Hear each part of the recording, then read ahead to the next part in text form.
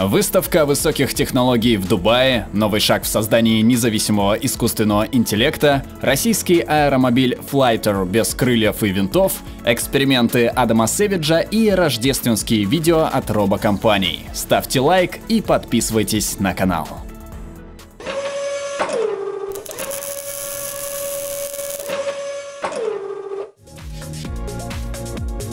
Во Всемирном торговом центре Дубая прошла GTEX Technology Week, собравшая под одной крышей ведущие технологические выставки в регионе, включая GTEX Future Stars, мероприятие по стартапам в сфере высоких технологий, GSEC, конференцию и выставка по кибербезопасности, Future Blockchain Summit, платформу для технологий блокчейна, а также первую Marketing Mania, новую платформу для маркетологов брендов.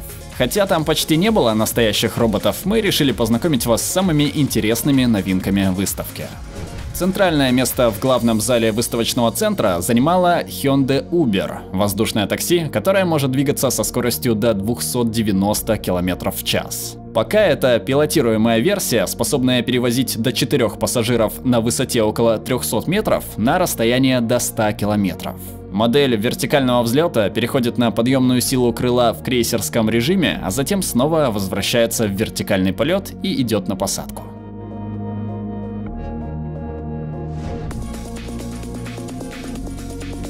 На стенде компании Etisalat был представлен новейший концепт BMW Vision M Next. Гибридный автомобиль сможет разгоняться до 100 км в час за 3,5 секунды и работать как на электрическом, так и на бензиновом двигателе. Главное отличие концепта — это акустическая звуковая среда, как у традиционных спортивных автомобилей. И да, это не робот, но не смогли пройти мимо такого роскошного авто. Теперь ближе к нашей теме. Huawei представила автономный автомобиль для доставки последней мили. Два таких робоавто уже работают в городе, недалеко от торгового центра Дубай Молл. Одного заряда аккумулятора хватает на 6 часов. Скорость менее 20 км в час. Четыре датчика спереди и сзади авто помогают ему избегать столкновений. Экран на боковой стороне позволяет покупателям выбирать продукт и совершать бесконтактные платежи. На выставке засветился гуманоидный робот Ардан, представлявшийся посетителям межпланетным коммуникатором между Землей и Марсом.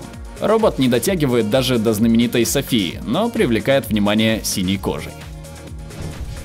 Также на выставке Panasonic представил автономное кресло-коляску, обеспечивающую неограниченное передвижение своим владельцам, и носимый экзоскелет для подъема тяжестей. А компания Microsoft представила искусственный интеллект для повышения плодородия почв в этом регионе. Не забывайте подписываться на канал, чтобы выходило еще больше интересных выпусков. Теперь к другим новостям. Дизайнер Анук Випрехт, показавшая в 2016 году Spider Dress, роботизированное платье, меняющее свою форму, весной представила новую работу. Это напечатанный на 3D принтере наряд для социального дистанцирования Proximity. Модель создает физические препятствия, когда обнаруживает человека в непосредственной близости от владельца с помощью термодатчиков. Недавно дизайнер разработала новый концепт. Теперь это одежда, меняющая форму и цвет в зависимости от активности мозга ее носителя. Платье Панголин подключается к мозгу пользователя с помощью 1204 электроэнцефалографических датчиков и переводит мозговые волны в узоры. Думается, если через 100 лет наша одежда претерпит какие-то серьезные изменения, то, возможно, это будет нечто в стиле Анук Випрехт. Мы не могли не включить в выпуск новые эксперименты Адама Сэвиджа с роботом Спот. Не будем гадать, что пытался сделать Адам, но смотреть на это можно бесконечно.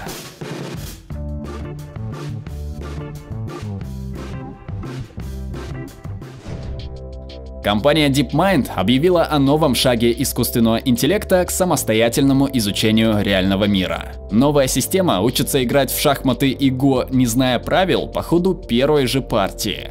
MuZero предсказывает наиболее релевантные ходы на основе имеющихся на конкретный момент данных и с каждым ходом улучшает свои решения.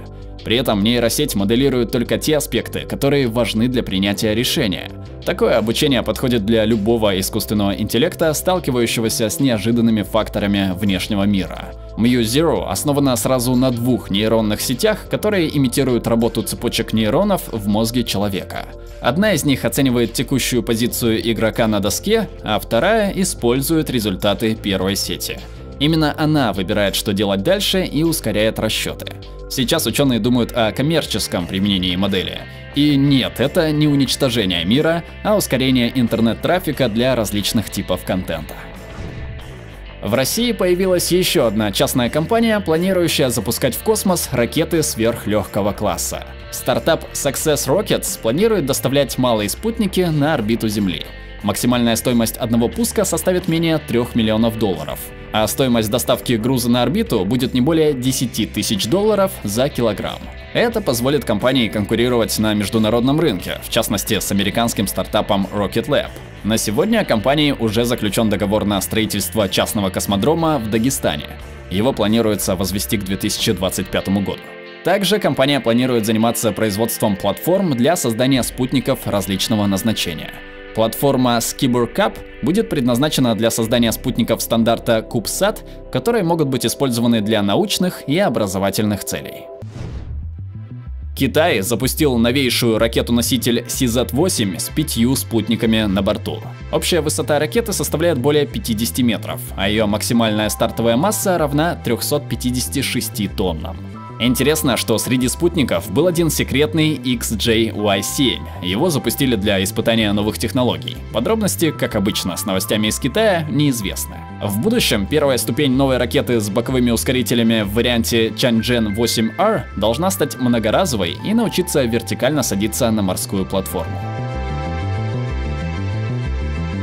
Напомним, что недавно китайская миссия Чан-Э-5 успешно доставила на Землю образцы лунного грунта. Это первая подобная миссия с 1976 года, когда материалы доставила советская Луна-24.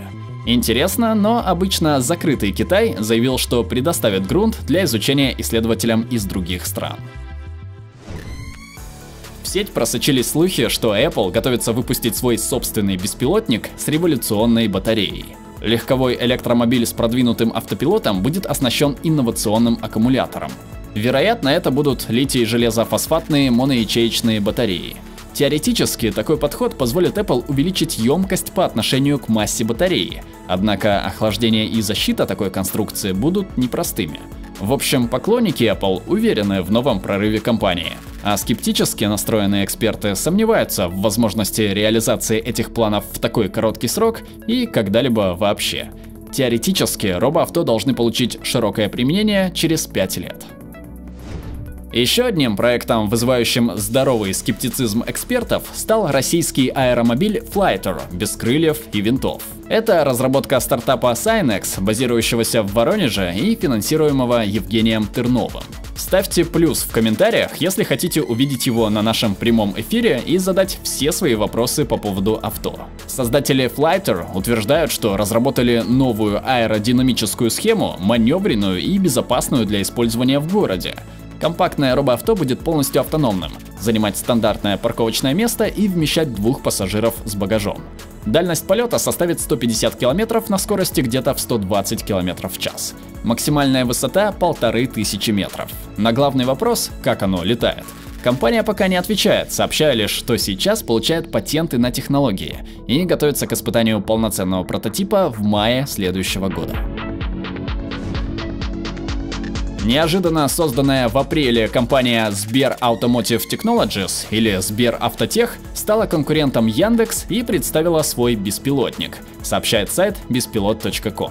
Робокар на базе универсала Kia Ceed Sporty 2020 уже тестируется на общих дорогах Москвы, пока с водителем-испытателем за рулем.